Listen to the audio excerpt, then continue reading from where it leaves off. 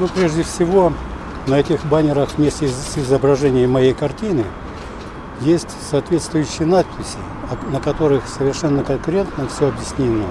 То есть эта картина является философским посланием христианского мира. Ну а христианский мир – это целевая аудитория этой картины, этой темы – это 2,5 миллиарда человек в мире. Вы хотите, чтобы ее заметили, обратили на это внимание, может быть, ну, как прониклись, прониклись люди, изучили? Да, конечно, потому что там огромный философский пласт, с которым я обращаюсь ко всей мировой общественности, прежде всего христианской.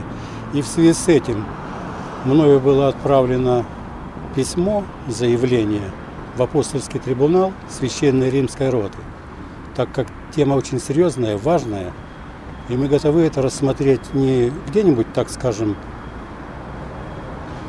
кулуарно, а на глазах всего мира и прийти, так скажем, к тому замечательному выводу, который я обязан донести до, до людей.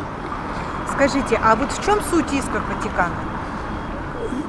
Суть моего иска к Ватикану – это не к Ватикану, а в, апостоль- в апостольский трибунал, чтобы именно в суде апостольского трибунала, это высший суд трибунала, всемирно известный, чтобы на нем при моем участии, при хорошей команде юристов, которых мы еще будем приглашать, разобраться вот с теми разночтениями в догматическом богословии, о которых я указал предметно и абсолютно понятно в заявлении.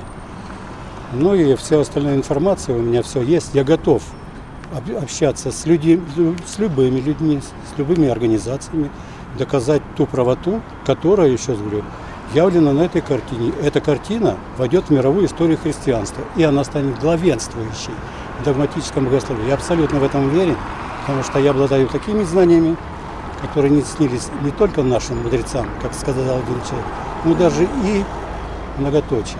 То есть дело все-таки в картине, да, и больше А- ни в чем. Может быть, есть еще какие-то принципиальные несогласия?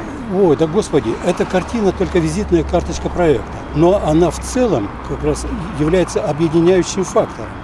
А та тема, которую предстоит разбирать в апостольском трибунале, она слишком огромна, слишком ответственна. И это действительно будет интересно на весь мир, а не только на уровне Назарова, Красноярска или одной только Москвы.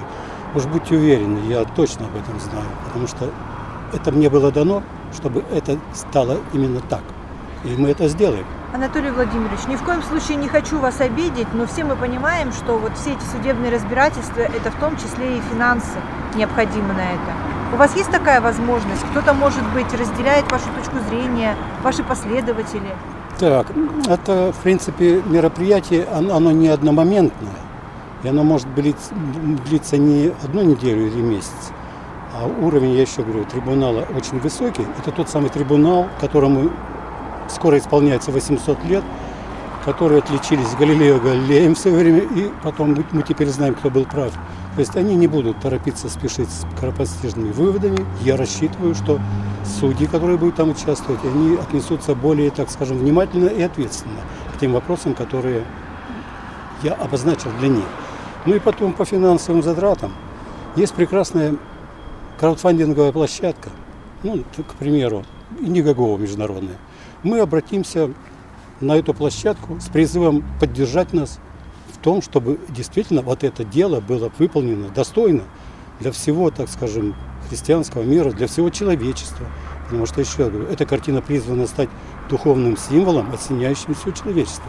Не та картина, которая в Сикстинской капелле висит, грехопадение, фреска знаменитого Микеланджело, на которой изображены странных два существа, непонятно, какого содержания, то есть со своими низменными страстями, поесть, поспать, ну и все такое. А это действительно достойное изображение, на которых изображен царственный владыка Эдема и всей земли Адам, то есть наш праотец. И мы достойно должны чтить вот именно его достоинство по образу и подобию на моей картине стопроцентно отмечено. На остальных других выставлена только нагота, а духовного смысла абсолютно никакого нет. А поэтому о духовном живущий по духу рассуждает так, а которые по-плотски живут, те рисуют так двух странных существ в обнаженном виде.